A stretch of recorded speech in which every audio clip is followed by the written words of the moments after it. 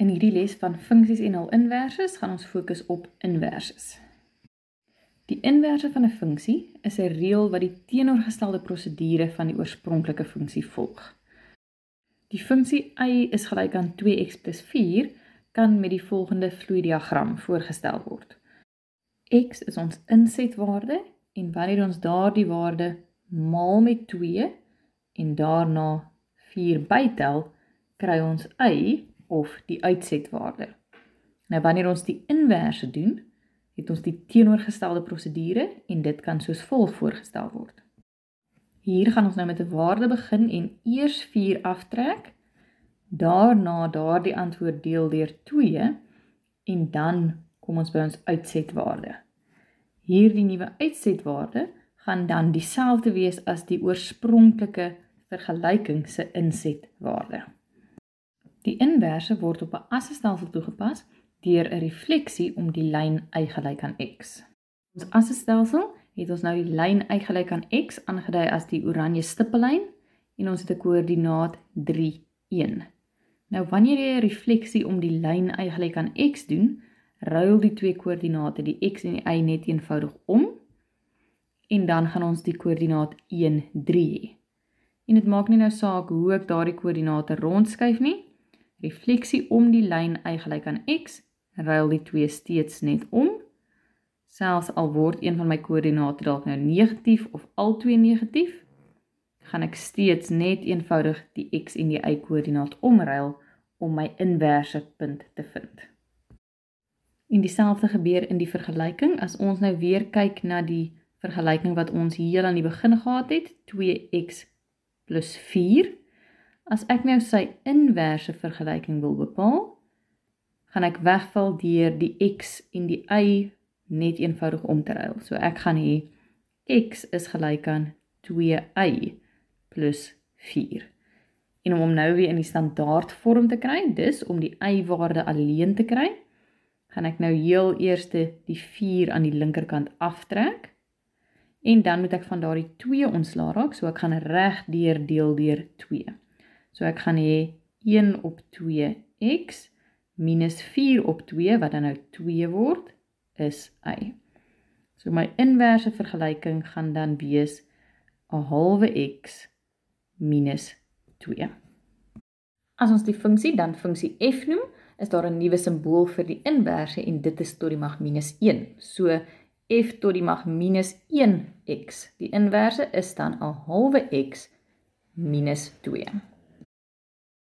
Kom ons kyk dan ook na 'n parabool. So as ons het gx is x kwadraat om sy inverse te bepaal. Ek herinner jou daar staan ons nou eintlik y is gelyk aan x kwadraat. So vir sy inverse gaan ons nou weer eens eers vir x en y omruil en dan het ons x is gelyk aan y kwadraat. Nou wil ons hom weer in die standaard vorm kry en dis van die kwadraat ontslaa raak. En daarvoor gaan ons sê plus of minus die vierkantswortel van x is y. En dan herinner ek jou weer aan die nuwe simbool vir inverse tot die mag minus 1. So g tot die mag minus 1 is dan plus minus die vierkantswortel van x. Kom ons kyk nou as ons hierdie vier funksies gaan skets.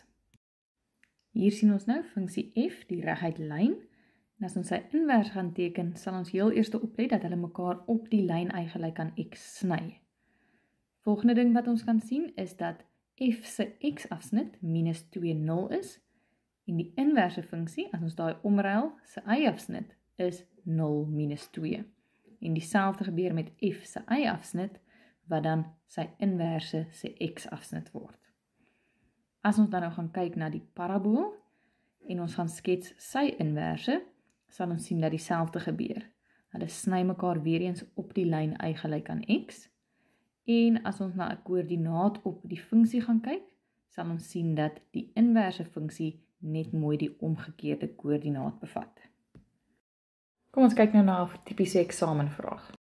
Voorbeeld 1. Gegee die funksie f(x) is gelyk aan 5x - 10. Bepaal die vergelyking van die inverse. Nou hier weet ons nou reeds dat f(x) y voorstel en inverse beteken x en y ruil om, so ek gaan wegval deur te sê x is dan nou gelyk aan 5y minus 10.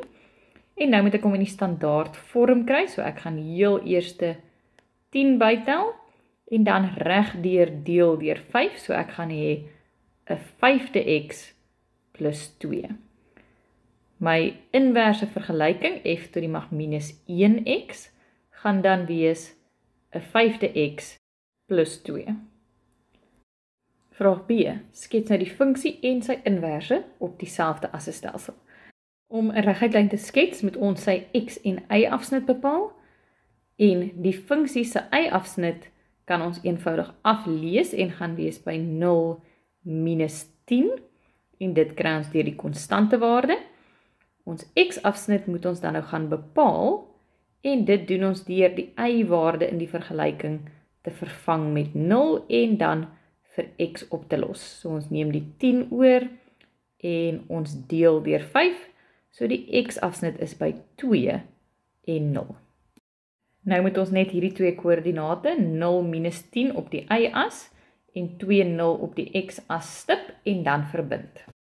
Om nou die inverse te skets, hoef ons geen berekeninge te doen nie. Ons weet nou sy y-afsnit gaan ons bepaal deur net eenvoudig die x-afsnit van die oorspronklike funksie se koördinaat om te ruil en die 2 0 word 02 en vir sy x-afsnit gaan ons die y-afsnit van die oorspronklike funksie vat en net die koördinate weer eens omruil en dit word -10 en 0. Nou kan ons weer hierdie twee punte op die x-as by -10 0 op die y-as by 02 gaan stip en verbind.